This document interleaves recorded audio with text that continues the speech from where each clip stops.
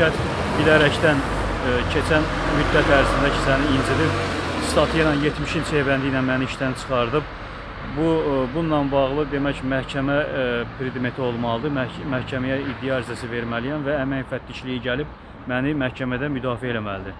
Mən də iş işlədiyim Enermek şirkətinin yerləşdiyi ərazi Səbail ərazisi olduğuna görə Səbail rayon məhkəməsinə iddia ərizəsi verdim. Təngəçal neft və qaz terminalında işləyərkən yıxılıb xəsarət alan Hüseynov Hikmət özünün iddiası ilə davam edən məhkəmə prosesi zamanı tərəfindən məruz qaldığı qanunsuzluqlar haqqında ətraflı məlumat verir.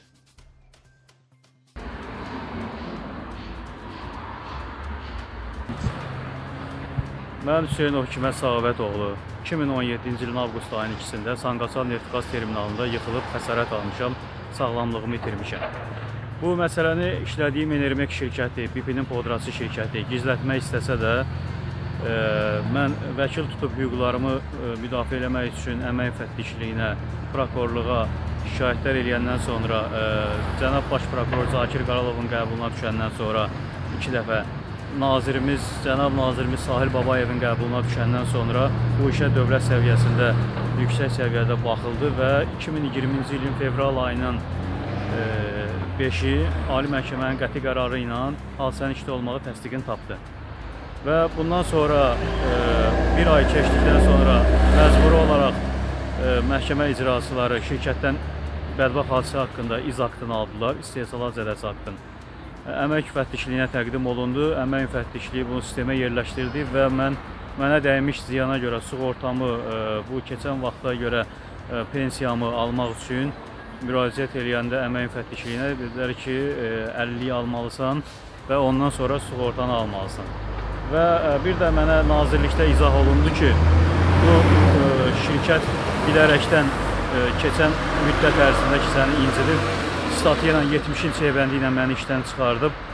Bu e, bununla bağlı demək məhkəmə e, predmeti olmalıdır. Məh məhkəməyə iddia ərizəsi verməliyəm və əmək müfəttişliyi gəlib məni məhkəmədə müdafiə etməlidir. Mən də iş işlədiyim Enermek şirkətinin yerləşdiyi ərazi Səbail ərazisi olduğuna görə Səbail rayon məhkəməsinə iddia ərizəsi verdim. Ərzəmə demək baxır hakim Şahin Abdullayev. Şahin Abdullayev ayın 5-i bizi topladı, sənədlərlə, vətəndaşlarla, iddiaçılarla tanış oldu. Dedi ki, ayın 12-si saat 4-də məhkəmədir. Yəni bu gün, ayın 12-si. Mən dünən əmək müfəttişliyinin qarşısında çəkiliş elədim. Yəqin məlum indi görənlər görüb, baxanlar baxıb. Orada mən tələb elədim ki, mənə gəlib hüquqlarımı düzgün, hüququn bilən savadlı bir əmək müfəttişliyinin əməkdaşı gəlsin, burada mənim hüquqlarımı müdafiə eləsin. Keçən dəfə ayın 5-i gələn tur hansılar pozulur? Mənim deməli hadisə işdə olduğu Ali Məhkəmənin qərarı ilə təsdiqləndi.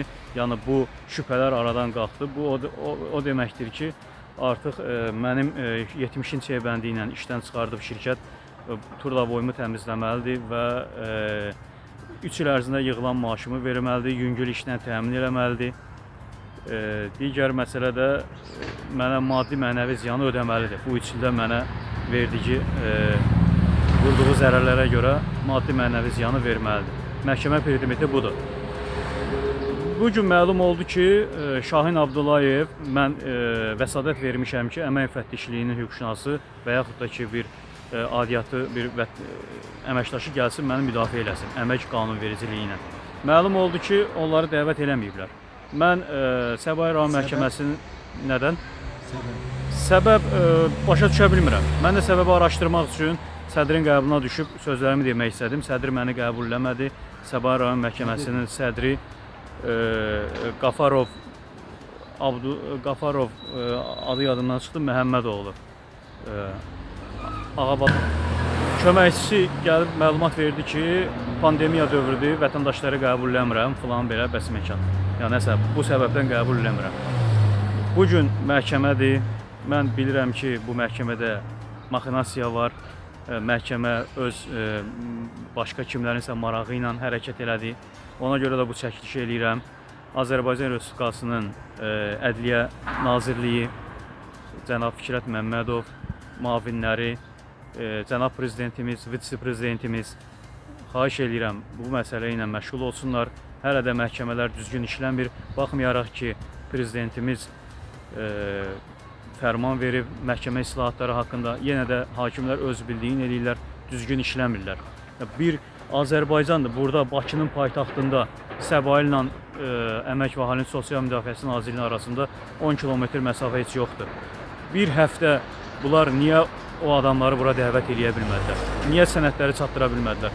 Soruşanda Şahin Abdullayevdən deyir ki, mən deyir onlara bildiriş göndərmişəm, onlar deyir bildirişi almayıblar. Necə yəni almayıblar? Sən bu işindir də, sənin işçilərin bunu eləməlidir. Göndərməlisən, onlar qəbul etməlidir. Məcburən e, dəvət eləməlisən, qulaq asmalısan ki, həqiqətən də Hüseynov hökumətin hüquqları hansı formada pozulub. Bunu təmin eləməlisən.